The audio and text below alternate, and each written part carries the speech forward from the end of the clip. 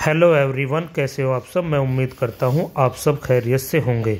आज मैं कुछ समय के बाद आया हूँ यूट्यूब पर अपनी एक वीडियो आपके लिए लेकर।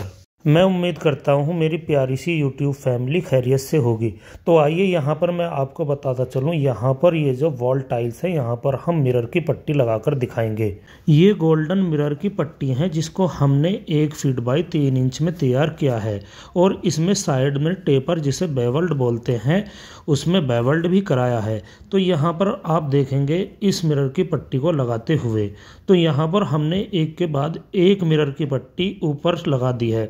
तो यहाँ पर हमने वॉल टाइल्स का सेंटर लिया है। मिरर लगाते समय हमें कुछ बातों का ध्यान रखना होता है। तो मिरर पर हम मिरर वाला सिलिकॉन ही यूज़ करेंगे, नहीं तो मिरर काला पड़ सकता है और ख़राब भी हो सकता है।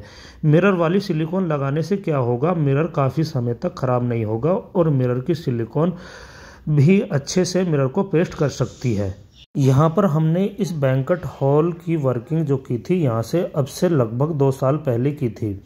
और यहाँ पर कुछ टाइल वर्क हुआ था और एचपीएल वर्क तो यहाँ पर टाइल का वर्क कुछ ज़्यादा स्पेस दिखाई दे रहा था, जो ओड लग रहा था, इसीलिए यहाँ पर मिरर की पट्टी को सेलेक्ट किया गया है।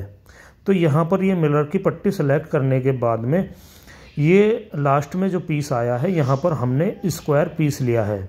यहाँ पर इस स्क्वायर पीस को लेना ज़रूरी था, क्योंकि यहाँ पर जैसे ही दूसरा पीस टर्न करेगा, उसमें या तो हमें टेपर देना पड़ता या फिर हमें एक के बाद दूसरा लगाते तो वो थोड़ा सा बेकार लगता। तो यहाँ पर हमने तीन इंची का पीस लगाने के बाद में दूसरा पीस एल में लगाना शुरू कर दिया है।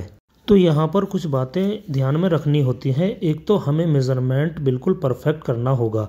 तो यहाँ पर अगर हम मेज़रमेंट परफेक्ट करके नहीं चिपकाएँगे तो गिलास ऊपर नीचे हो सकता है। दोस्तों, इस टाइप के गिलास भी यहाँ पर हम आपको एक के बाद एक लगाकर दिखाएँगे। यहाँ पर इस टाइप के गिलास लगाने थोड़े मुश्किल होते हैं क्योंकि गिलास का वेट डायरेक्टली नीचे को होता है। तो यहाँ पर हम एब्रो टेप ज़्यादा से ज़्यादा इस्तेमाल करेंगे, क्योंकि यहाँ पर गिलास थोड़ी देर यहाँ पर रेस्ट करना होगा जब तक सिलिकॉन गीला है। जब तक सिलिकॉन गिलास को पकड़ नहीं लेता, तब तक हमें यहाँ पर थोड़ा सा ध्यान देना होगा। तो यहाँ पर कम से कम आधा घंटा सिलिकॉन पर ध्यान देना है और गिलास को भी देखते रहना है, कभी गिलास नीचे की तरफ़ गिर ना जाए। तो यहाँ पर थोड़ी सी हमको सावधानी बरतनी होगी।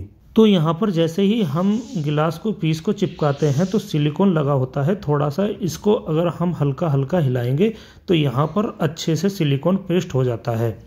तो तभी यहाँ पर हमें टेप का इस्तेमाल करना है और टेप का इस्तेमाल यहाँ पर ज़्यादा से ज़्यादा करना है क्योंकि गिलास गिरने का ज़्यादा से ज़्यादा से ज़्यादा चांस होता है यहाँ पर। दोस्तों, जैसा कि आपके सामने है, अब लगभग ऊपर की साइड भी कंप्लीट हो चुकी है।